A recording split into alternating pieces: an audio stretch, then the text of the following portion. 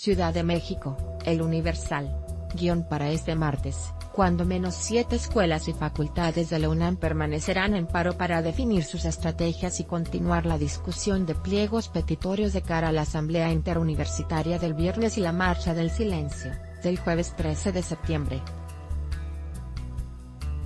El paro continuará en la Facultad de Artes y Diseño, la Escuela Nacional de Trabajo Social, los planteles 2 y 5 de la Escuela Nacional Preparatoria, así como los colegios de Ciencias y Humanidades, CCH, Azcapotzalco y Naucalpan.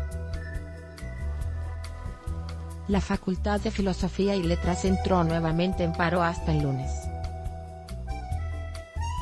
La Facultad de Ciencias Políticas y Sociales votó paro activo de 48 horas, lo que quiere decir que habrá actividades administrativas, pero se suspenden las clases y entrará en paro total el jueves y viernes. La Facultad de Ciencias también parará el 13 de septiembre.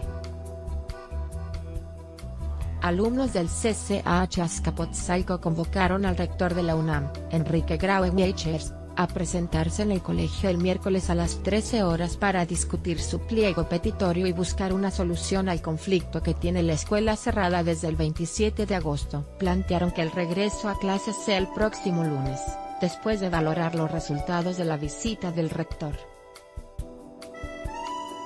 De su pliego petitorio habrá tres puntos en los cuales pondrán un mayor énfasis en la reunión con el rector expulsión de los grupos porriles del plantel y de la UNAM, garantizar profesores para todos los grupos y reducir a un máximo de 50 alumnos por salón. Se plantea que en el encuentro también participe el director general del CCH, Benjamín Barajas.